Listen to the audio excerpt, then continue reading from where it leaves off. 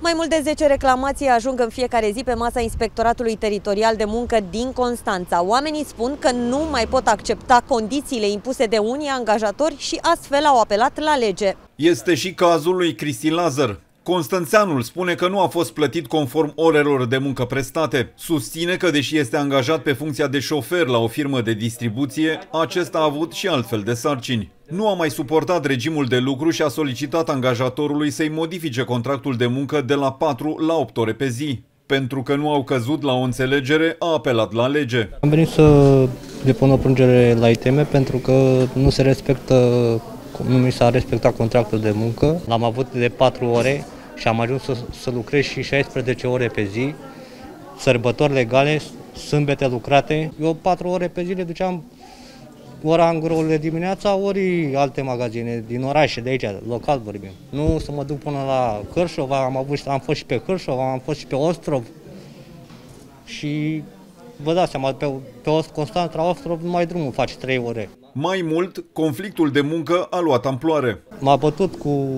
m-a trântit pe scări jos, am, am certificat medico-legal scos. Și nu este singurul care se confruntă cu astfel de probleme. Și alți constanțeni se plâng că le sunt încălcate drepturile, motiv pentru care unii au ales calea străinătății. Lucrăm în Anglia, stăm, stăm în Anglia. Foarte bine. Sunteți mai bine tratați de angajator decât aici? De o mie de ori. De ați plecat în străinătate? Da, am plecat în străinătate, da. Aș fi preferat aici, dar să fie condițiile de acolo. Cele mai multe sesizări vin din partea angajaților firmelor de pază și protecție de la malul mării, care acuză că nu li se plătesc orele suplimentare. Pe locul 2 se situează angajații din construcții. Aceștia reclamă că au lucrat fără contracte de muncă.